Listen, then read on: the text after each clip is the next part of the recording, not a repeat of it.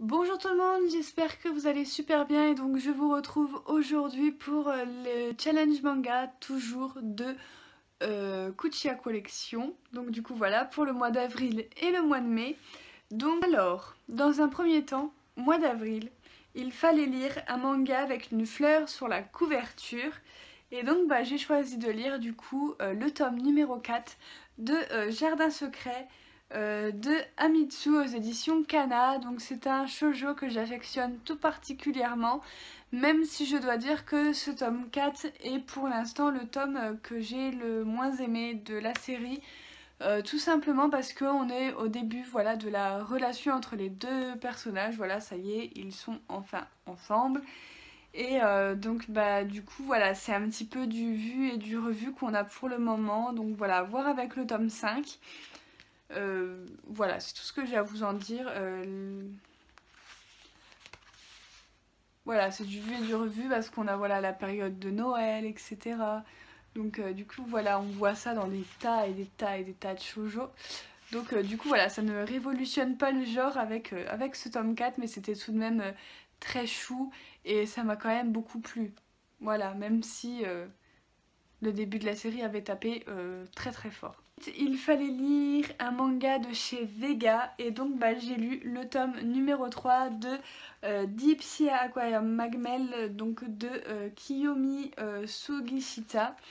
Voilà, donc euh, aux éditions Vega, bien évidemment. Euh, donc voilà, j'ai adoré ce, tome 3. Il est dans la lignée des deux premiers. Voilà, on est toujours sur des chapitres où on découvre eh ben, euh, voilà, des animaux des animaux marins. Donc voilà, on a toujours des petites pages comme ça pour en apprendre encore un petit peu plus sur ben, ces créatures qui vivent qui vivent dans les profondeurs euh, sous-marines, euh, dans les abysses. Et euh, donc voilà, les dessins sont toujours aussi beaux. Donc voilà, l'histoire avance. l'histoire avance, etc. pour notre, pour notre héros qui va, qui va augmenter encore d'un étage voilà, dans, son, travail. Et donc c'est super sympa à découvrir. Et surtout, bah, les dessins sont vraiment trop trop beaux.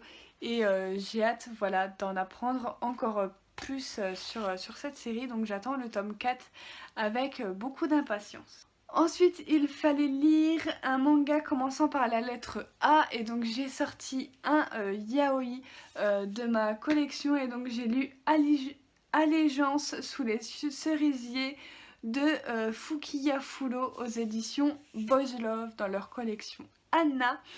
Donc je vais vous lire le résumé parce que je serai incapable de vous en parler. Ça fait un petit moment que je l'ai lu, etc. C'est un truc historique. Oui bien sûr, c'est un truc historique. Donc voilà. Donc c'est euh, dans le Japon féodal, deux clans puissants s'opposent autour de la succession au trône impérial. Les Tiara et les Minamoto, l'époque est instable. L'empereur semble impuissant devant tous ces guerriers ambitieux. Il y a cependant parmi eux des hommes qui ont joué un rôle plus important que d'autres. Yoshitsune, génie, génie cérébral, et Bankei, colosse hors norme, sont, sont de cela. La relation qu'ils ont entretenue l'un avec l'autre a pesé puissamment sur l'histoire du Japon. Voici brillamment tissé ici le récit de leur amour et de leur destinée. Voilà, donc en gros l'histoire, voilà, on va être sur deux clans qui se battent euh, à un trône, tout simplement. Et j'ai bien aimé, mais il y a un mais. C'est que, enfin voilà, pas trop de... Bon déjà il y a des scènes euh, un petit peu de forçage au tout début du manga. Mhm. Euh, voilà. On a également, bon on a, voilà, on a euh, des scènes d'amour, etc. Mais voilà, c'est caché, etc. On voit pas non plus les, trucs, etc. des fois, l'auteur fait des dessins assez brouillons, qui m'a un petit peu dérangé, etc. et surtout, bah, tout va beaucoup trop vite. C'est qu'un one-shot. Franchement, ce titre-là, c'est comme ça un titre historique, un titre un titre voilà qui aurait pu être vraiment excellent mais il aurait fallu qu'il soit sur au moins sur au moins, allez, 3, 3 à 5 tomes. Enfin voilà, ça aurait été tellement mieux. Enfin voilà, l'auteur aurait pu euh, faire un truc tellement tellement meilleur en fait que, ce one shot. Donc, euh, donc voilà, donc je le conseille quand même si vous aimez les trucs historiques. Mais sachez que à la fin, euh, vous allez être un petit peu... Euh, oui, ok, pourquoi pas. Ça finit comme ça, tout ça pour ça en gros. Donc oui, voilà. Et pareil, il y a des pages... Alors il y a parfois, c'est vide niveau texte. Voilà, comme ceci. Et des fois, c'est blindé de chez blindé, genre comme ça. Vous avez plein de bulles, plein de, plein de bulles partout, des explications, machin, nan. Donc euh, voilà, c'est vraiment euh, rempli de texte, etc. Donc voilà, si vous attendiez un truc avec plein de batailles et tout, euh, c'est mort. Il y en a, mais, mais, mais c'est pas le but principal du, du manga. Donc du coup, du coup voilà, c'est un one shot que j'ai bien aimé mais que je pense pas retenir euh, dans, les années, voilà, puisque bah, il y a beaucoup plus de points négatifs que de points positifs. Donc comme vous l'avez compris, euh, je risque sûrement de le revendre et de ne pas le garder dans ma bibliothèque. Ensuite, il fallait lire un Magical Girl. Alors comme vous le savez, j'aime bien finir des séries en ce moment. J'ai lu Nizokoi, euh, Magical Pâtissière, machin, nana. Euh, voilà, les quatre tomes. Et euh, c'est nul. voilà, donc on dit c'est le spin-off, c'est marqué Découvrez le premier spin-off de Nizokoi dans lequel Kozaki se dévoile plus qu'à l'accoutumée. pour moi ça n'a rien d'un spin-off puisque ça n'apporte rien à l'histoire de base à l'histoire principale. Euh, voilà, ça n'est ni avant ni après, donc c'est pas un spin-off, c'est plutôt une réécriture de Nisekoi, où c'est qu'elle devienne euh, magical pâtissière. Wouh donc euh, du coup voilà, c'est que Kozaki va devoir sauver, j'ai oublié le prénom de Raku. voilà, mais sinon, voilà, les personnages n'ont plus le même rôle que dans Nisekoi. Enfin, c'est vraiment une réécriture. Donc, c'est qu'on a imaginé les personnages Magical Girl, mais mais non, en fait, comment tu peux massacrer une œuvre Enfin, enfin voilà, pour moi c'est un massacre de Nisekoi plus qu'autre chose.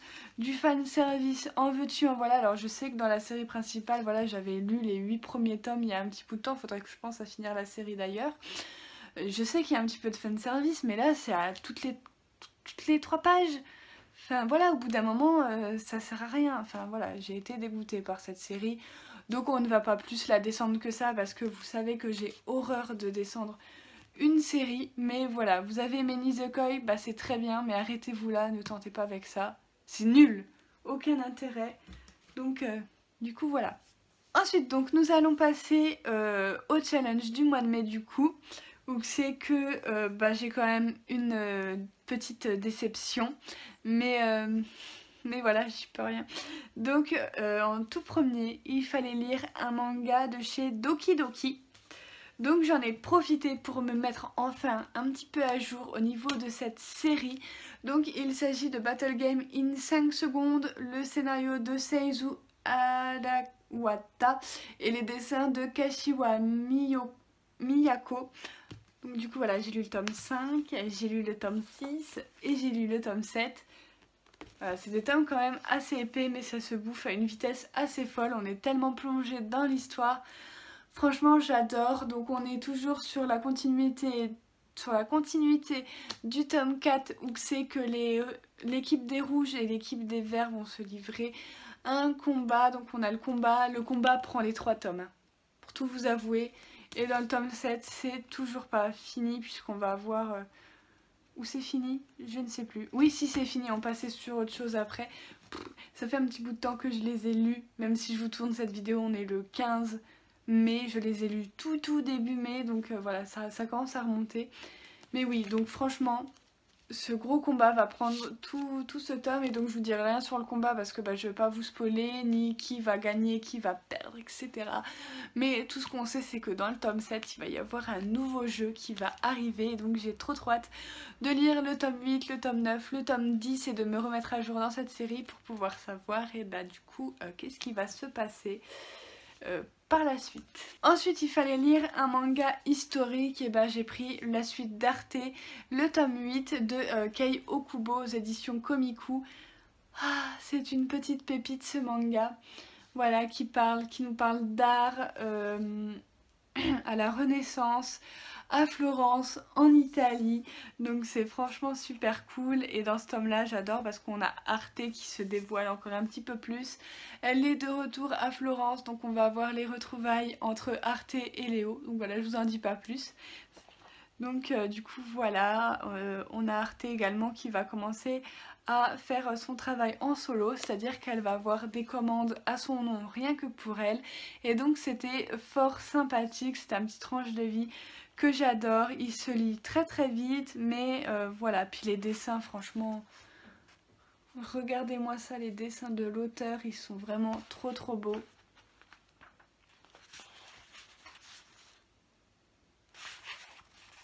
Voilà. Fallait lire un manga commençant par la lettre H.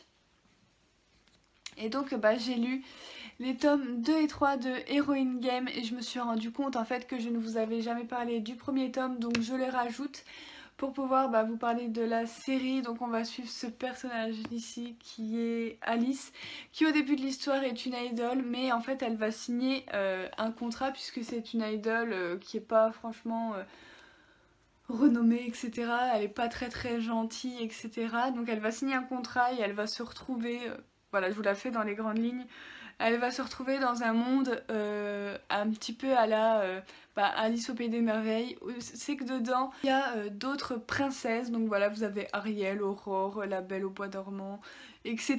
etc. Réponse, etc. Enfin voilà, vous avez tout le petit chaperon rouge aussi, faut pas que je l'oublie. En plus, il est sur la couverture du tome 2. Et euh, donc voilà, donc en fait c'est des combats euh, de deux princesses, il ne pourra en rester qu'une euh, à la fin et elle pourra réaliser son rêve. Le truc un petit peu bateau et cliché par excellence et je n'ai pas du tout aimé puisque bah, on a déjà une, héroïne qui est absolument pas pas gentille, enfin voilà elle est manipulatrice, calculatrice, enfin voilà c'est pas une héroïne, c'est l'anti-héroïne par excellence. Donc euh, dans ce tome 1, bah déjà j'ai pas trop aimé, mais bon comme c'était une série en tomes, je me suis dit bon on va finir, les dessins sont sympas. Euh, voilà, puis j'aimais beaucoup euh, le, personnage du petit chaperon rouge, voilà, donc le tome 2 pour moi est, une, est inutile. Donc voilà, on oublie carrément le petit, notre héroïne Alice et on va se concentrer sur le petit chaperon rouge. Euh, voilà, c'est pas mal, mais euh, l'auteur euh, m'a perdu. voilà, ça, il y en a partout. Enfin voilà, il y a des histoires partout, il y a des trucs partout. L'auteur m'a perdu et ce tome 3, autant vous dire, je savais déjà comment ça allait finir. Donc du coup voilà, pas de surprise, pas de retournement de situation de fifou. On voit les choses venir à 3000%. Donc voilà, je sais qu'il y a de très bons avis au niveau de cette série, il y a des gens qui ont adoré, il y en a qui sont un petit peu plus mitigés. Et vous avez moi qui n'ai pas trouvé d'intérêt à cette série, donc euh, du coup voilà, mais euh, c'est pas grave, hein, il en faut pour tous les goûts. Voilà, chacun ses goûts, chacun ses couleurs, et donc bah, cette série ne m'a tout simplement pas euh, plu. Pour finir avec le dernier, donc il fallait lire un grand format, donc des grands formats j'en ai pas 150 dans ma collection. Il m'en restait plus qu'un d'ailleurs et donc bah, j'ai lu Emma. Donc voilà, qui est un grand format, il est plus grand que ma tête. Donc euh, du coup voilà, de Kaoru Mori et j'ai adoré. Donc il aurait pu faire partie aussi de, de la deuxième catégorie où c'est qu'il fallait lire un manga historique. Mais bon, vu que j'avais que celui-là comme grand format, puisque c'est un manga historique aussi, comme c'est très bien le faire Kaoru Mori. Euh, voilà, c'est la collection Latitude de chez Kiyun et j'ai adoré. Donc là, on va se retrouver... Euh, en Angleterre euh, à l'époque victorienne où c'est qu'on va suivre Emma, donc cette jeune femme que vous voyez sur la couverture qui est une femme de chambre voilà pour, pour une préceptrice à la retraite donc c'est quelqu'un quand même qui a de l'importance etc dans la hiérarchie anglaise et donc, donc voilà et donc elle va y rencontrer euh, William euh, Jones, donc qui est riche et tout, donc ça doit être, il, fait partie de l'aristocratie. Enfin voilà, c'est un bourge, en gros il est juste là. Et euh, donc voilà, qui va rendre visite à son ancienne gouvernante. Et donc eh ben, il va tisser des liens avec Emma, etc.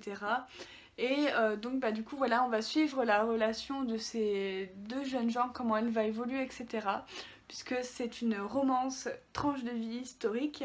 Et euh, donc voilà, on va suivre tout ça à travers euh, différents chapitres. On va également suivre des personnages qui arrivent, dont Hakim qui vient, qui est le prince des Indes, etc. Enfin c'est vraiment, vraiment, vraiment trop trop bien. J'ai dévoré le tome, je vous montrerai quelques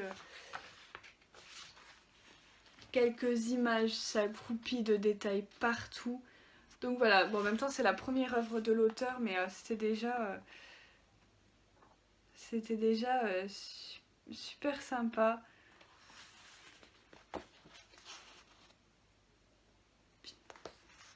Donc du coup voilà, et franchement la femme m'a laissé un petit peu sur le cul. Donc j'ai hâte de pouvoir lire le tome 2 puisque bah, une fois fini le tome 1 je me suis empressée d'aller sur euh, Gilbert Joseph pour euh, aller voir s'ils n'avaient pas le tome 2 d'occasion. Et ils l'avaient.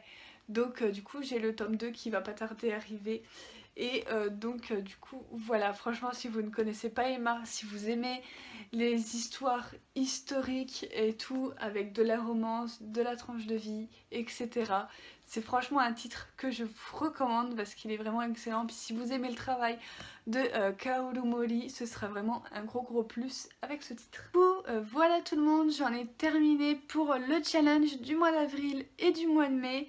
On peut dire que je suis enfin arrivée à me remettre à jour euh, dans toutes les vidéos de retard que j'avais à vous filmer. Donc euh, je suis assez ravie, on va pouvoir repartir sur de bonnes bases au fur et à mesure des mois. Donc euh, j'espère que cette vidéo vous aura plu, n'hésitez pas comme d'habitude à laisser un petit commentaire à cette vidéo, à mettre un petit j'aime, ça me fait toujours plaisir, à partager si le cœur vous en dit. Et moi je vous retrouve très bientôt pour une prochaine vidéo. Bye